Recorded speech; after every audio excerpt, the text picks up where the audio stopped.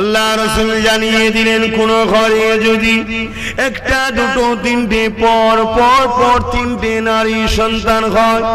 এ দুনিয়া মানুষেরা ও নারী হয়েছে, ওর কোনো হাত না সৃষ্টিকর্তা তোমাকে যেমন পুরুষ বানিয়ে